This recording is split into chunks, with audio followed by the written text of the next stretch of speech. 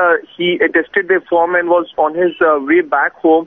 Uh, one of them uh, whipped out a revolver. It's very clear from the CCTV footage that he takes out a revolver and then continuously fired four shots. Now, uh, one of the assailants was wearing a helmet. Uh, he, the, the MLA claims that he can't recognize them. The police have arrived at the spot. They said that at least four shots were fired from a country-made revolver. Uh, the police is probing uh, whether there was some kind of a personal enmity involved in this incident or uh, whether they were hired assailants.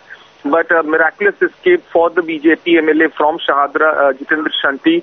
Uh, four shots were fired. In fact, uh, from the from the footage, it's very clear that he was grappled with one of the assailants, tried snatching his uh, his revolver. When he failed, he started running towards the house. Uh, he realized that uh, the assailant will fire shot at him.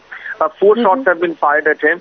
Uh, he's uh, he's completely safe. In fact, he spoke to the media and uh, narrated the ordeal that he uh, clearly a very daring attack on a BJP MLA in the capital. The police have said that all angles will be pursued and uh, crime branch has been roped into this probe. Bhavtosh, also um, from his point of view, wh- what what is he saying? Who could possibly be these people? Is there any enmity angle that he is uh, emphasizing on? Well, in fact, as of now, he has not given any, re- uh, uh, has not named anyone as to who could be uh, behind this attack and uh, who are responsible for this attack. What he has said to the police is that being an MLA in area